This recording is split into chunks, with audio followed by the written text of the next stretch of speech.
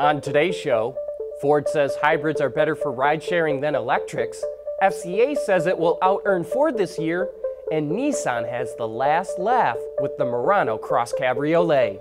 All that and more coming right up on Autoline Daily.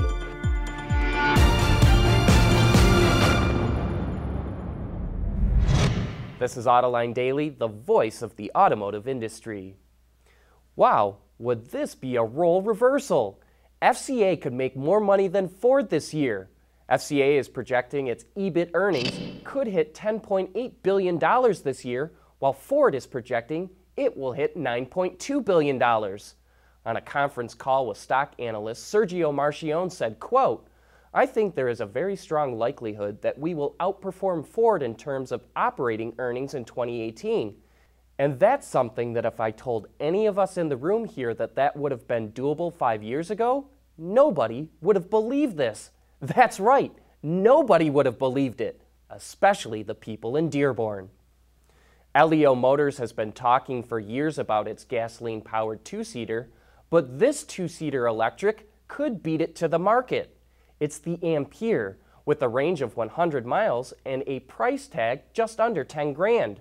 That's about $2,500 more than an Elio, but it sure looks terrific. It will be manufactured in Los Angeles, and the company claims they will be on sale next year. Do you remember Nissan's funky Murano Cross Cabriolet? You got to! It was a weird mashup of an SUV and a convertible that never sold in big numbers and was eventually axed in 2014. The media mocked it, but Nissan is having the last laugh the vehicle is in high demand on the used market. According to CarGurus.com, the median price is $25,000, which is about two thirds of the original sticker price, much higher than other vehicles from the same time, which are at 43% on average. Next week, we'll be revealing some of the details on the teardown of a Tesla Model 3 that's going on right now at Munro & Associates. That's the company that does competitive benchmarking for automakers and suppliers, and they found some interesting issues with the car, and you will be the first ones to see them. Autonomous cars represent the highest level of technology in the automotive industry, but it's going to take the most basic level of technology to keep them working, and that's coming up next. AutoLine Daily is brought to you by Bridgestone Tires, your journey, our passion. Dow Automotive Systems, advanced materials that deliver better results, and by Lear, a global leader in automotive seating and electrical systems. Radar, LiDAR, and video cameras on cars can give them amazing vision of what's going on around them. But if they get covered with dirt, snow, or even rain, they're useless. So how do you keep them clean? The supplier Röchling has come up with a solution called the Advanced Active Cleaning System that essentially outfits a vehicle with nine washer nozzles. When the system detects a sensor is blocked, it will spray a cleaning fluid to wash it off, and it uses electronics to automatically determine which lens needs cleaning and regulates how much fluid is sprayed on each part. That makes sure the tank lasts as long as possible. It has a large reservoir, but it's heated to prevent the fluid from freezing and will warn you when it's getting low. You know, this seems like a pretty simple solution, to make sure all these advanced driver assistance systems work the way they're supposed to. And before I get into my impressions of the new Jeep Cherokee, I need to thank some of you for pointing out that I completely misquoted the power numbers for the new 2-liter turbo engine. It puts out 270 horsepower and 295 pound-feet of torque. Now with that out of the way, I feel like this is the engine that should have been offered from the get-go. Not only does it suit the Cherokee very well, but it makes the crossover much more competitive in the segment. It's now the top of the line choice in powertrain, but only carries a $500 premium over the V6. The big difference between the two engines is that the Turbo 4 puts out 56 more pound-feet of torque, and the V6 can tow 500 pounds more than the four-cylinder turbo. Speaking of weight, the Cherokee went on a bit of a diet and dropped 150 pounds. Things like an aluminum hood and a composite liftgate help contribute to the savings. The suspension was also retuned in part because of the lightweighting efforts. So you now have a better riding vehicle with an engine that really suits it. We're expecting Jeep to have a really good 2018. Pricing for the new Cherokee starts at just over $25,000 and goes up to about $37,500. Jeep expects the 2019 models to start hitting showrooms in the next month or so. When it comes to autonomous ride sharing, what's better, pure electric cars or hybrids? Ford has some strong opinions on it, and that's coming up next. At Bridgestone, our engineers want to help make sure you're not stuck on the side of the road.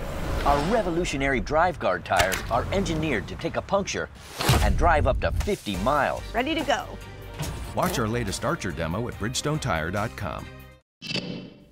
Both GM and Ford are developing autonomous vehicles for ride sharing, but their strategies are a bit different. GM is going to use the all electric Chevrolet Bolt for its fleet, while Ford is going the hybrid route. On Autoline this week, we're joined by Hau Thai Tang, the head of product development and purchasing at Ford, and he explains why Ford believes hybrids make much more sense for autonomous vehicles.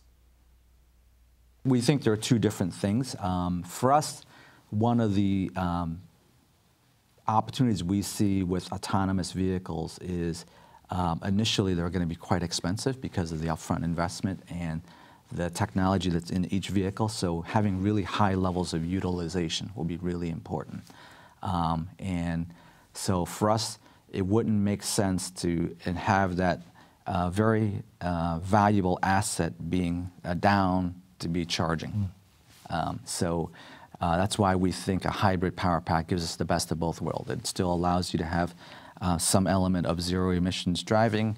Um, you can still be very fuel efficient, but at the same time have very high uptime. Um, so that's, that's the way we're looking at it. Um, the other thing to keep in mind is the processing power, the computing power right now in the sensor suite is very energy um, intensive. Mm -hmm. So that will draw away from the driving range of the vehicle. And of course, like anything, we look forward. Uh, Jim Hackett's really good about encouraging us to think about how technology is going to change, but you have to recognize the team that's doing the development right now, the Ford team, the Argo AI team, we have to use the sensor suite that's available mm. uh, in, in the marketplace today. And with that sensor suite, uh, and you look at the power consumption, it's not compatible, in our opinion, with a full battery electric vehicle. For a deeper dive into product development at Ford, you can watch that entire discussion right now on our website, Autoline.tv, or you can find it on our YouTube channel. That's it for today. Thanks for watching, and have a great weekend.